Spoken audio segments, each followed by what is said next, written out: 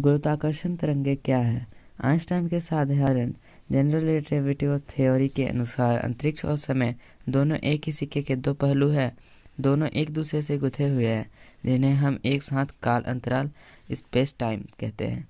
इसे समझने के लिए कई उदाहरण हैं, लेकिन सबसे सरल एक चादर है, जिसे चार आयाम हैं, जो कि अंतरिक्ष के तीन आयाम, लंबाई, चौड़ाई और गहराई, तथा चौथा आयाम के रूप में समय है। ध्यान दें कि यह केवल समझने के लिए है, वास्तविकता इससे थोड़ी भिन्न होती है। हम सामान्यतः गुरुत्वाकर्षण बल को एक आकर्षित करने वाला या खींचने वाला बल मानते हैं, लेकिन आइंस्टाइन के अनुसार गुरुत्वाकर्षण काल अंतराल को मोड़ देता है, उसे विकृत कर देता है और इस प्रभाव को हम एक आकर्षण बल के रूप में देखते हैं।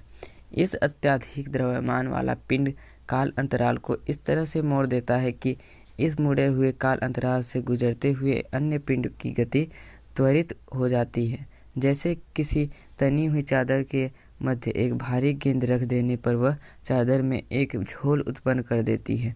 उससे, उसके पश्चात उसी चादर पर कुछ कंचे डालने पर वे इस झोल की वजह से गति प्राप्त करते हैं। जनरल रिलेटिविटी ऑफ़ थियोरी के गणित के अनुसार यदि किसी भारी पिंड की गति में त्वरण आता है तो वह अंतरिक्ष में हिचकोले लहरें उत्पन्न करेगा, जो उस पिंड से दूरी गति करेगी।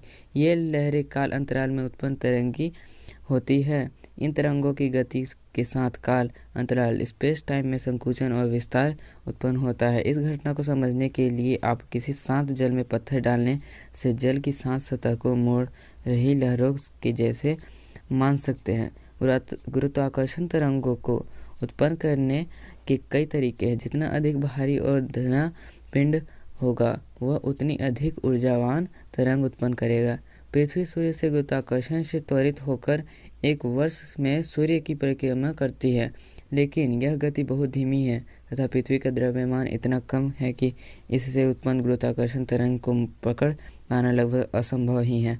लेकिन यदि उसके पास दो अत्यधिक द्रव्यमान वाले पिंड, उदाहरण के लिए न्यूट्रॉन, तारे, जो कि महाकाय तारों के अत्यधिक घनत्व वाले अवशेष केंद्रक होते हैं, अपनी गति ऐसी गुरुत्वाकर्षण तरंग उत्पन्न कर सकते हैं, जिन्हें हम पकड़ सकते आप हमारे वीडियो को सब्सक्राइब ज़रूर करें। ताकि हम आपके वीडियो को ऐसे ही नए नए वीडियो बना सकें आपके लिए।